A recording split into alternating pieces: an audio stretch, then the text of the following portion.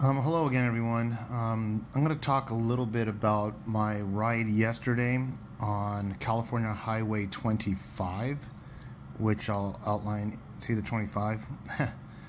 okay, it starts right here. See where it says Hollister? Pretty much you would grab it, if it's heading southbound, you'd grab it around the Hollister and you would come down southbound. You can, if you're in a motorcycle, you can continue on this one down to where the San Miguel mission is connecting back to the 101 Camp Roberts military installations there. You can take this road. I, I, I believe you can do it on a four-wheel vehicle, not a four-wheel drive, but like a regular sedan. But um, I guess it's narrow and people drive kind of fast on it.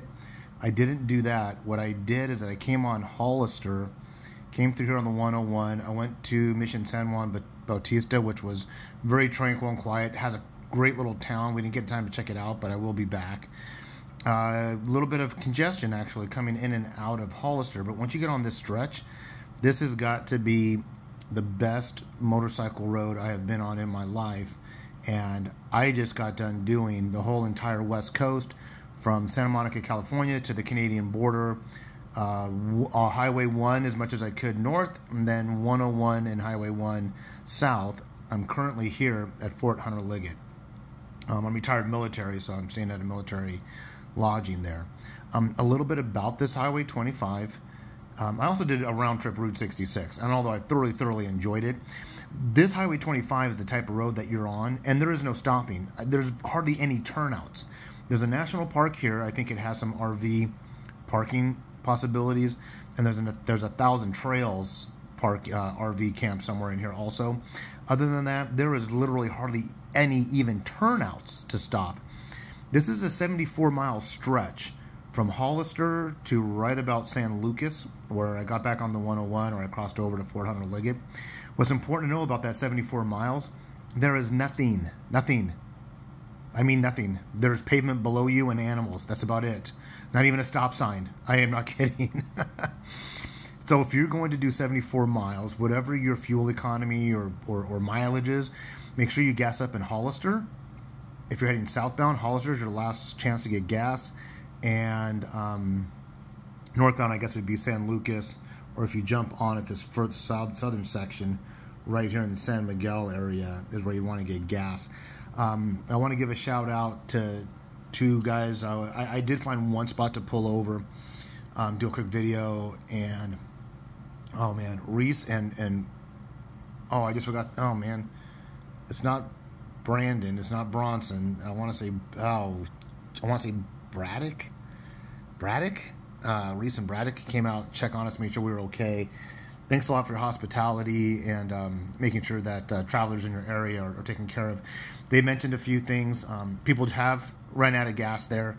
There have been people that don't um, overcompensate on the S curves and uh, wreck. So watch those S curves.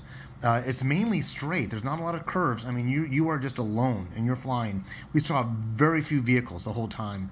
He also said that once in a while a semi will take it, thinking that it's an easy road, and the semis, it's a very narrow road, very narrow. I mean, RVs would have a hard time negotiating if they were coming in opposite directions of each other. You'd greatly have to slow down, especially on a curve. I think one RV at a time could probably take that curve. Um, because sometimes semis come through and they they kind of wreak havoc. Also, uh, there is a lot of wildlife. I had a deer cross my path, but not dangerously. It was kind of cool. It was kind of close, but it wasn't dangerous.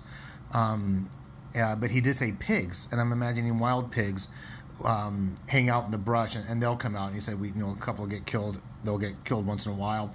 If you're on a motorcycle, that means you're going down. Who knows what your extent of your injuries are going to be? And you probably will kill the pig, but those were my those are the words of caution they gave me. Is is uh, make sure you have gas. Uh, make sure you don't um, underestimate the S curves when they do come to them, although there's not a lot, and uh, and just enjoy, enjoy. I mean, it's it's once again right here, this Highway 25, 74.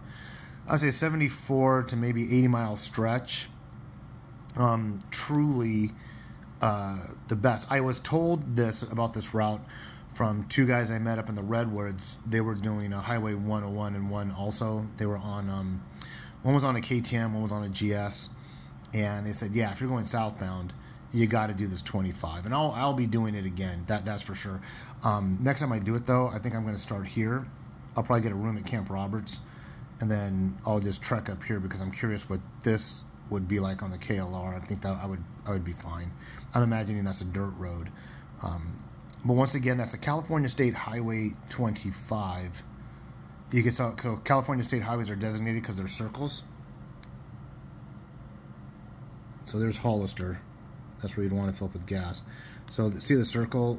That designates a California State Highway, just as the one is a circle. And um, it's a circle on the map, but it's like a little acorn-looking thing. Um, I was looking for another California State Highway, but there's one. And the only thing it looks like on the 25, when it comes down here, this is just a road. It's not state maintained, so there's no 25 identifier there.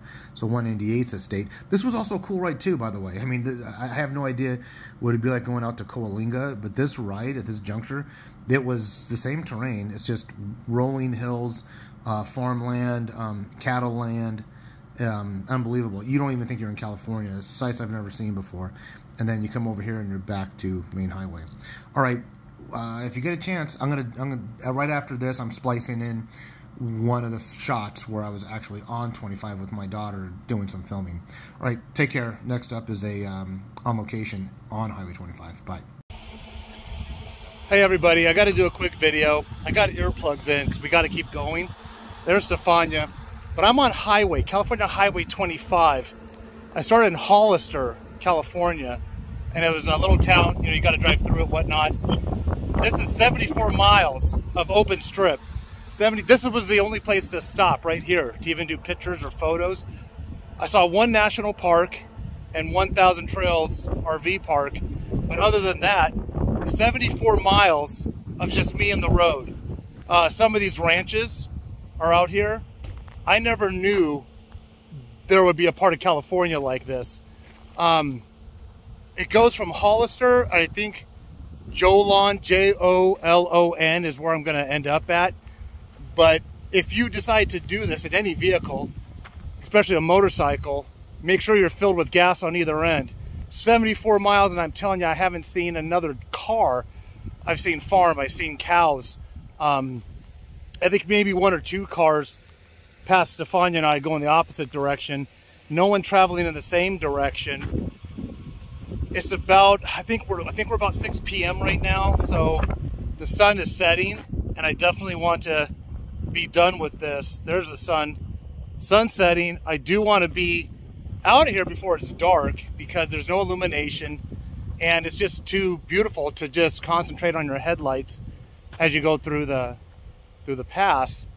Um, but I'm not sure how many miles more we have to go. But if you got a, if you ever get a chance, and I'll, I'll try to follow this video up on a map. Um, if you ever get a chance on a motorcycle to do Highway 25 between Jolon and uh, uh, Hollister, um, it's well worth it. I thought I'd see a lot of motorcycles. When Stefano and I were up at the Redwoods at a hotel, um, motel, there were two other motorcyclists that just got done doing the Lost Coast and some of uh, Highway 1. And um, they, uh, they're the ones that told me about this. They go, oh, if you're going southbound, you got to hit 25. I'm coming back up here. I'm going to do this again.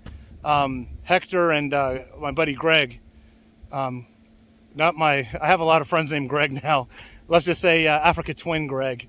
Um, but uh, yeah, you know, the funny thing is when I was heading south from Washington State, Greg was heading north, and we were both in Marin County at the same time.